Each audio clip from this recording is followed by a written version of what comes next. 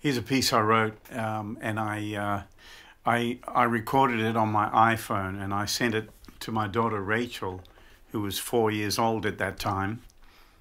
And I said to her mother, uh, "Play this to Rachel, and ask her what is this music about? What is this song about?" And so she listened to it, and and then she said, "It sounds like the wide ocean." and I thought, what an amazing title, and what an amazing little soul she is, and um, she she totally had a grasp on what was Daddy was trying to write about. So here it is, the wide ocean. Check it out.